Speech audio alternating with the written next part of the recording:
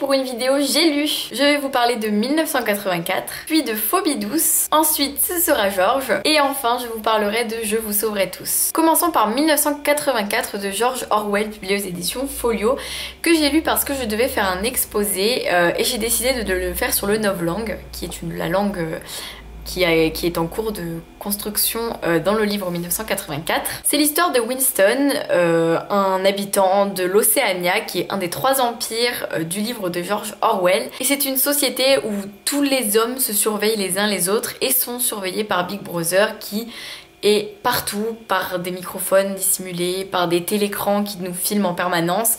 Et dans cette société, Winston a des idées qui ne correspondent pas aux idées du parti. Et si quelqu'un le savait, il serait certainement emprisonné ou tué. Mais Winston est bien décidé à savoir si d'autres personnes partagent ses opinions politiques, si d'autres personnes sont elles aussi contre le parti. Et c'est un livre qui est absolument génial. J'ai été totalement surprise par cette lecture. Je ne m'attendais pas à autant aimer, à être aussi passionnée par l'histoire, mais finalement c'était juste merveilleusement bien écrit, merveilleusement bien pensé et j'ai juste adoré du début à la fin. Je trouvais qu'il y avait euh, un très grand suspense qui apparaît au fur et à mesure des pages et après on est vraiment vraiment dans l'histoire.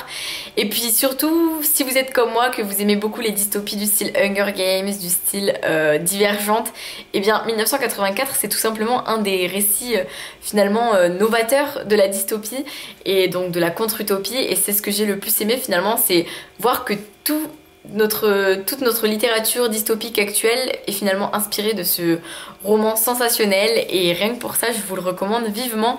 Je pense que vous en avez tous entendu parler euh, dans vos cours de français mais sincèrement il ne faut pas prendre ce livre pour une lecture de cours. Moi au début c'est ça qui m'énervait c'est que je me disais je lis pour les cours et finalement au fur et à mesure c'était tellement génial que j'avais juste hâte de le terminer et euh, donc à chaque fois de replonger dans ma lecture et c'était un moment fabuleux. J'ai ensuite lu Phobie douce de John Corey publié aux éditions Cast une histoire absolument fabuleuse. Solomon, il y a trois ans, a eu un accident, euh, il souffre de beaucoup d'angoisse et un jour, une crise de panique l'a submergé et il s'est du coup jeté dans une fontaine euh, devant tous ses camarades. Et depuis ce jour-là, il n'est plus sorti de chez lui, plus jamais. Lisa, quant à elle, est une adolescente qui n'a qu'une envie, c'est d'être acceptée dans une grande université de psychologie. Et pour cela, elle doit étudier un cas.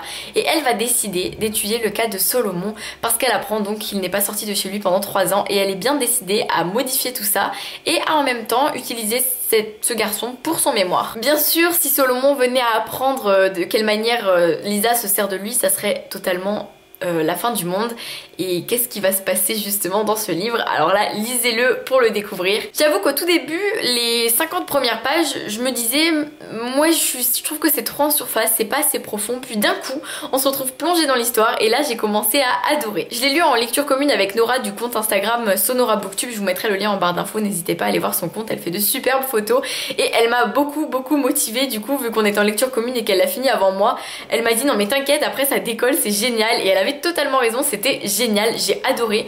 J'ai trouvé que les idées de l'auteur étaient fabuleuses et surtout que l'auteur réussissait à nous surprendre parce que nous on se dit, on se fait nos propres petites hypothèses et puis finalement on se fait surprendre de tous les côtés et j'ai trouvé ça génial, j'ai trouvé ça très touchant, très profond et, euh, et, très émouvant surtout. Il y a beaucoup de moments qui sont très forts en émotion et on est un peu submergé, on se dit waouh je crois que je vais pleurer là et euh, c'est vraiment, ce sont des personnages très attachants, des personnages qui ont vraiment des défauts et ce que j'aime c'est qu'on les voit, ce ne sont pas des personnages parfaits, mais finalement ils le sont à la fin parce qu'on est tellement attaché à eux que voilà, l'auteur n'hésite pas à nous les montrer tels qu'ils sont et j'ai trouvé ça d'autant plus merveilleux. Puis j'ai lu Georges de Alex Gino publié aux éditions L'école des loisirs. C'est l'histoire euh, d'une petite fille, Georges, qui a été assigné garçon à la naissance et qui vit très mal euh, ce sexe qu'on lui impose depuis qu'elle est toute petite. Sauf qu'en CE2, c'est un petit peu dur de s'imposer, c'est un petit peu dur de dire au monde entier qu'elle est une fille et qu'elle aimerait qu'on la prenne pour une fille. Une pièce de théâtre va être jouée dans son école et elle se dit que si elle réussit à avoir le rôle de la fille et à montrer à quel point elle se sent bien dans ce rôle,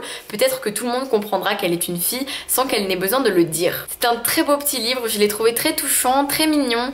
Euh, je me suis beaucoup attachée à Georges que j'ai trouvé euh, juste adorable et euh, ça m'a fait aussi beaucoup de mal de voir ce mal-être qu'elle ressentait justement. Et je trouve ça très beau parce que ce livre montre vraiment que voilà, elle s'en rend compte en CE2, même si on a plus l'habitude de lire des livres où c'est plutôt à l'adolescence que le, personnage justement euh, va vouloir montrer à sa famille que non, il n'est pas le sexe qu'on lui a assigné à la naissance. Et, euh, et, je trouve ça beau là parce qu'on voit que déjà en CE2, bah, elle le vit très mal et elle a besoin d'en parler, elle a besoin de faire quelque chose. Et euh, voilà, j'ai trouvé ça vraiment très beau. C'est vraiment une histoire courte mais c'est touchant et euh, j'ai trouvé euh, la fin magnifique. Donc euh, n'hésitez pas à lire si le sujet de la transidentité vous intéresse. Je trouve ça fabuleux et je pense que si vous aimez ce thème et même si vous aimez les petites histoires émouvantes, ça peut vraiment beaucoup vous plaire. Et enfin, j'ai lu un livre très fort, très dur que je viens de terminer qui est Je vous sauverai tous de Émilie Fraîche, publié aux éditions Hachette. C'est l'histoire de trois journaux intimes croisés, celui d'une mère, celui d'un père et de leur fille qui vient de partir en Syrie pour faire le djihad. Donc un roman sur l'embrigadement, un roman, vous vous en doutez, qui est quand même très dur à, à lire, oui. Et en même temps, j'ai trouvé ça terriblement intéressant parce que nous avons la mère qui du coup va va nous parler du départ de sa fille mais surtout de sa vie après et euh, de son engagement dans plein d'associations, dans plein de réunions, dans plein d'organismes. Et je trouve ça génial parce que du coup on a des chiffres, on a des, on a des témoignages, on a, des, on a énormément de choses qui nous apprennent euh, plein de choses justement sur tout ça. On a aussi le père qui est musulman et qui euh, est encore plus indigné justement par ce que sa fille a fait. Et puis on a sa fille, donc la fille, qui elle est une fille qu'on trouve juste adorable, à laquelle on s'attache énormément, jusqu'à ce qu'on voit Enfin, on est toujours attaché à elle finalement, mais on voit de quelle manière elle a pu se faire embrigader, comme ça a pu être facile, comme ça peut arriver à n'importe qui, parce que il suffit que la personne euh, ait été contactée au mauvais moment finalement, euh, à un moment où elle était peut-être plus sensible émotionnellement, ou à un moment où elle était peut-être plus ou moins ouverte. Et je trouve ça vraiment très important justement de montrer que, que ce livre peut s'appliquer à toutes les personnes et pas seulement les enfants déséquilibrés ou les enfants qui ont une enfance, pas facile. Enfin je veux dire, ça n'a rien à voir avec notre enfance, avec nos parents, avec notre entourage. Ça peut vraiment arriver à n'importe qui et c'est ce qui est très important et ce que dit l'auteur dans ce livre. Et rien que pour ça, je pense que justement, on devrait le faire lire à énormément de jeunes pour que tout le monde comprenne euh, bah, justement l'ampleur de, de l'embrigadement et à quel point c'est nocif et à quel point ça peut arriver vite sans même qu'on s'en rende compte. Dans ce livre, euh, le personnage principal est notamment très émotive et très impliqué dans l'aide aux autres et finalement c'est ce qui va lui porter préjudice. Et voilà, je, je, trouve que c'est un livre très très intéressant, très enrichissant, j'ai appris beaucoup de choses et j'ai aimé partager les avis de plusieurs personnes. Et en plus, je trouve que l'histoire qui va arriver à la mère suite au départ de sa fille est très émouvante. Donc euh, si le thème de l'embrigadement vous intéresse, et seulement si ce thème vous intéresse, parce qu'évidemment je ne le conseillerais pas à d'autres personnes euh, à qui il fait peur ou à qui euh, il peut provoquer des angoisses, parce que non, ce livre est fait vraiment pour intéresser le lecteur. Et eh bien si ça vous intéresse, n'hésitez pas, je pense vraiment que ce livre est, est très bien fait et que le sujet de l'embrigadement est très bien traité. Et voilà pour cette vidéo, j'ai lu qui j'espère vous a plu. En tout cas, il y a de bons livres, encore une fois, que de bons avis, donc j'espère que ils vous donneront envie et que vous les lirez. En tout cas, moi, je vous les recommande vivement. N'hésitez pas à me dire en commentaire lequel vous tente le plus. Et sur ce, je vous dis euh, à très vite pour une prochaine vidéo et je vous souhaite une bonne lecture d'ici là avec un des quatre livres si c'est possible, ça serait génial. Bisous